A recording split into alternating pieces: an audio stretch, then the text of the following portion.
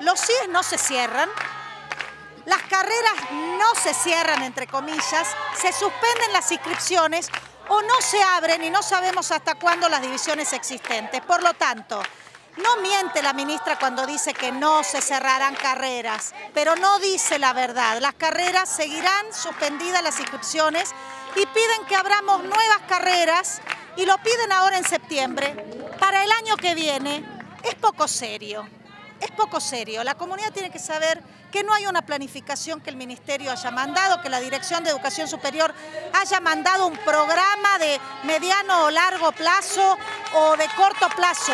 Son improvisaciones.